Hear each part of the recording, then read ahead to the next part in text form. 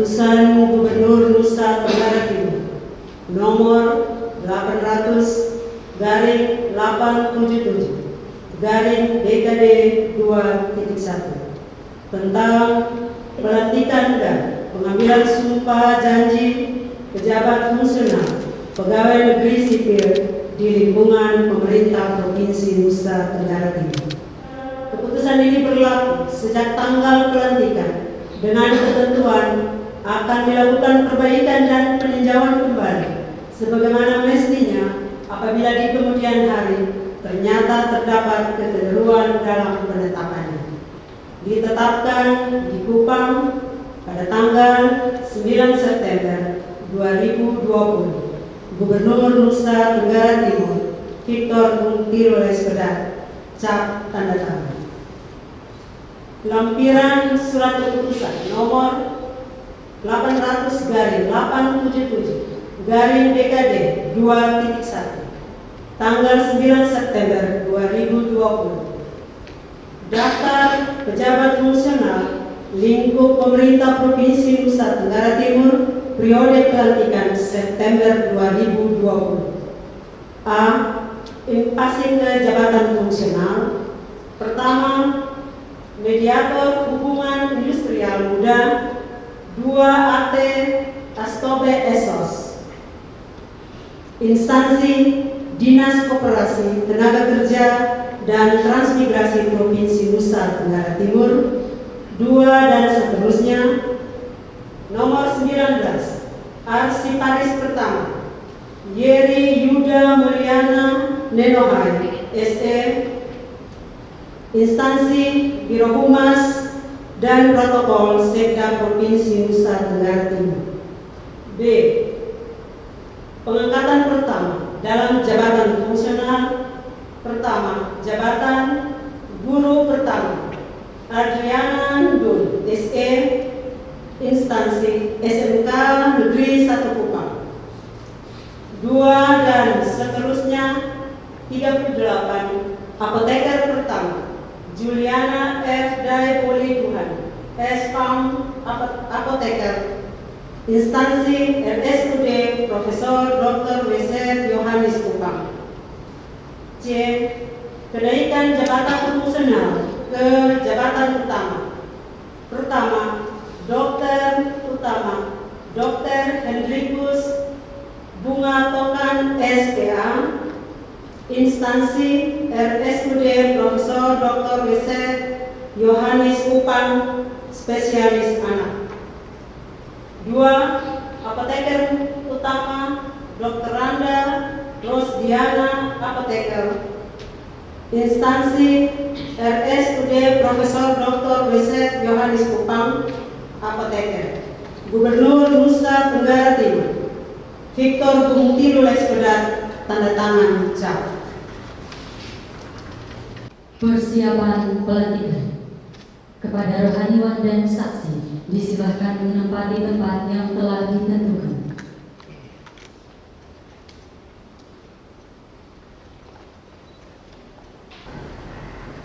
Naskah pelantikan dengan memanjatkan syukur kehadirat Tuhan Yang Maha Esa atas rahmat dan karunia-Nya, maka pada hari ini, Jumat tanggal 18 bulan September tahun 2020.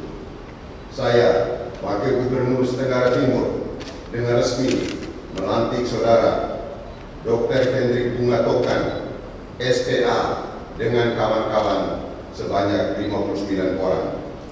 NIP 196 105 106 161 98709 1001 Pangkat golongan peluang Pembina Utama Madya 4D yang dengan keputusan Gubernur Nusa Tenggara Timur nomor BKD titik 013 titik 1 strip 1002 strip PK garing J, JV strip 10 strip 11 saya ulangi strip 11 Romawi strip 2019 diangkat dan diambil sumpah sebagai pejabat fungsional tertentu lingkup pemerintah Provinsi Nusa Tenggara Timur.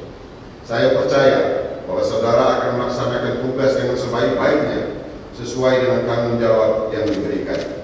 Kiranya Tuhan bersama kita. Upang tangga tersebut di atas yang melantik Dr. Andrews Yosef Adrianus Naiso ITB. Pengucapan sumpah janji jabatan dipandu oleh Wakil Gubernur Nusa Tenggara Timur.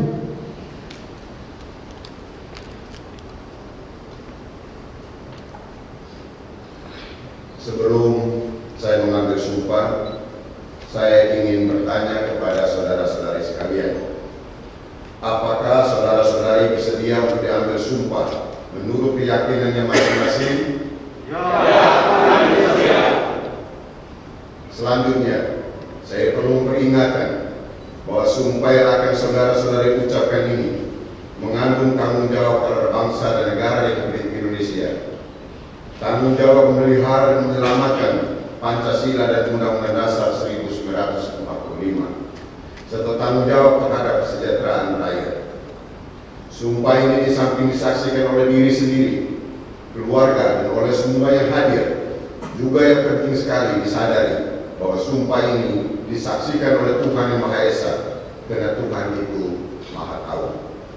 Manusia hanya dapat mengetahui dari kata-kata dan perbuatan seseorang, tetapi Tuhan mengetahui apa yang tersembunyi di dalam hati saudara-saudari. Dan kepada Tuhan itulah akhir pertanggung jawab akan saudara-saudari berikan. Saudara-saudari beragama Kristen, Protestan, dan Katolik harap ikuti kata-kata saya. Demi Tuhan saya berjanji. Demi Tuhan saya berjanji. Saudara-saudari yang beragama Islam harap ikuti kata-kata saya. Demi Allah saya berjanji. Demi Allah saya berjanji. Bersama-sama. Bahwa saya bahwa saya akan setia dan taat akan setia dan taat kepada Undang-Undang Dasar Negara Republik Indonesia kepada Undang-Undang Dasar Negara Republik Indonesia. tahun 1945 tahun 1945 serta akan menjalankan serta akan menjalankan segala peraturan perundang-undangan. Dengan seluruh-seluruhnya dengan seluruh-seluruhnya demi dan membakti saya. Demi membakti saya kepada bangsa dan negara. Kepada bangsa dan negara bahwa saya. Bahwa saya dalam menjalankan tugas jabatan dalam menjalankan tugas jabatan. Akan menjunjung etika jabatan akan menjunjung etika jabatan bekerja dengan sebaik-baiknya bekerja dengan sebaik-baiknya dan dengan penuh rasa tanggung jawab. Bahwa saya bahwa saya akan menjaga integritas. akan menjaga integritas. Tidak menyalahgunakan kewenangan. Tidak menyalahgunakan kewenangan. Serta menghindarkan diri serta mengundurkan diri dari perbuatan tercela dari perbuatan tercela saudara-saudari beragama Kristen Protestan Katolik harap ikuti kata-kata saya. Kiranya Tuhan menolong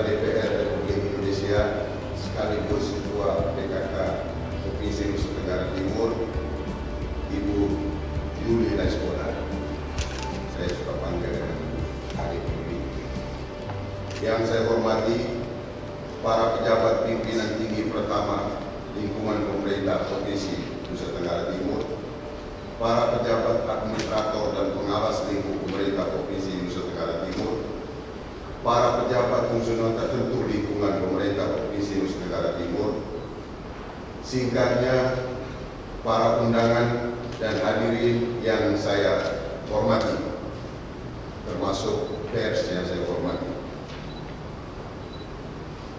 Pada kesempatan yang berbahagia ini, saya mengajak kita semua yang hadir di sini untuk memanjatkan puji syukur kehadirat Tuhan Yang Maha Kuasa, Allah Subhanahu wa.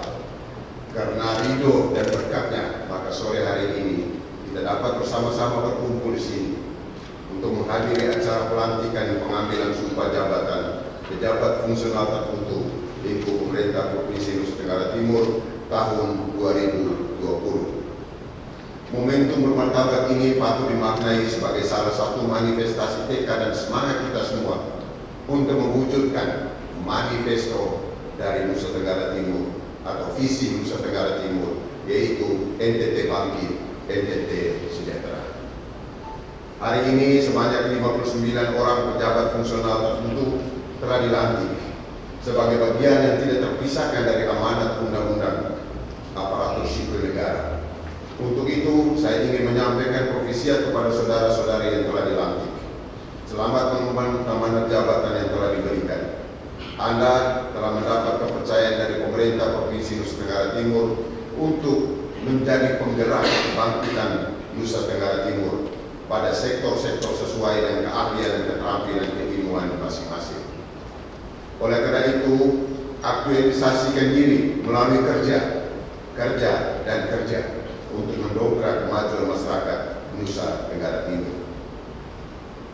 Dari data yang saya dapatkan ke 99, ke 59 orang yang dilantik ini terdiri dari tenaga fungsional guru, instruktur, mediator hubungan industrial, auditor, pengawas pemerintahan, apoteker, dokter perawat gigi, dan arsiparis. Saya berharap agar visi Nusa Tenggara Timur bangkit, NTT sejahtera, tidak hanya menjadi visi gubernur dan wakil gubernur.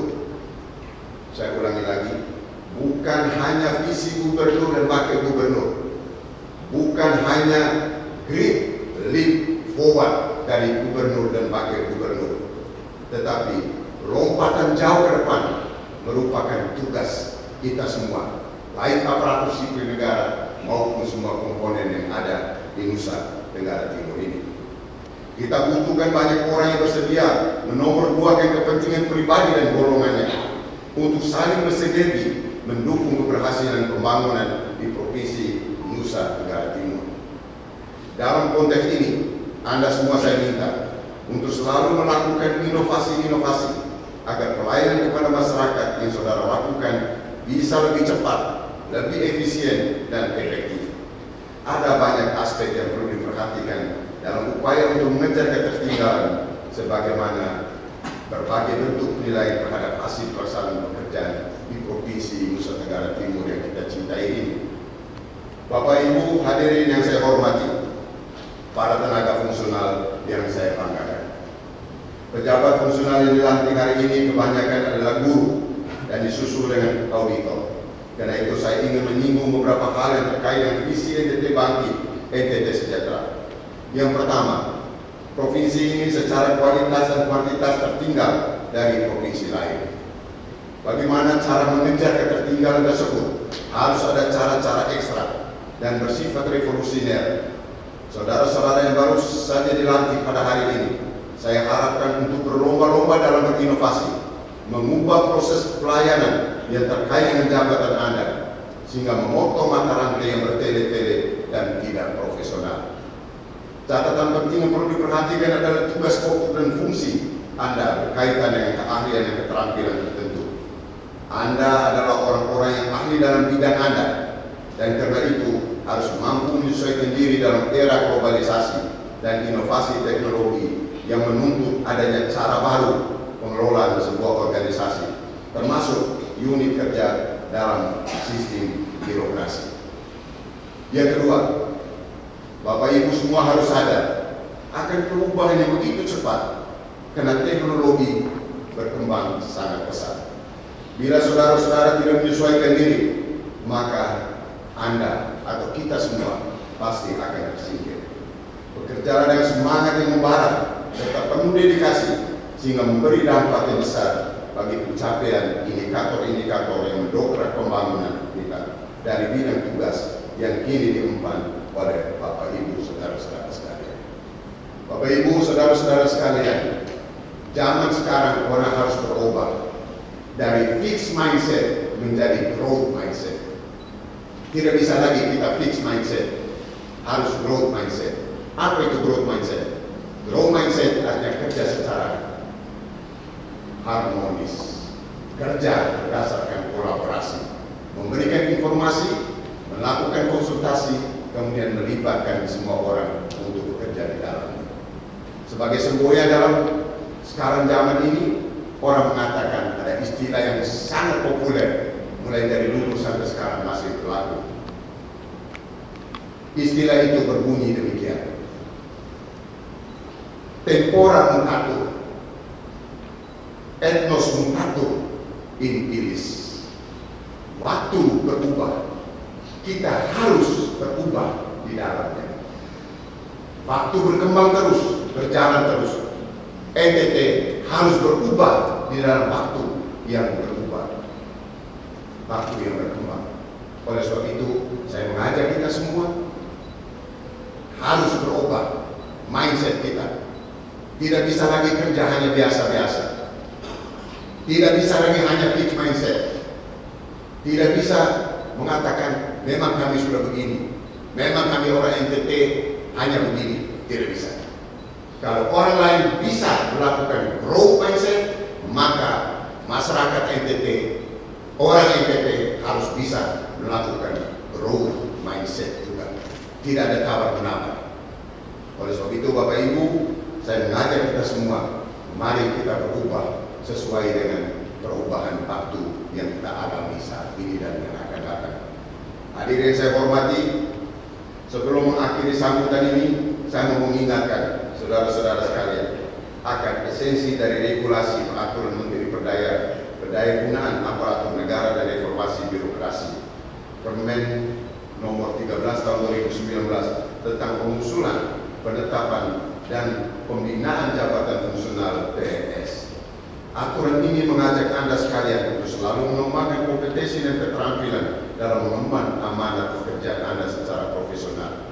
Karena itu, kembangkan soft skills dan hard skills Anda yang merupakan karakteristik dan kemampuan seseorang untuk mentransfer keahlian dan kemampuannya kepada berbagai situasi dalam wilayah kerja.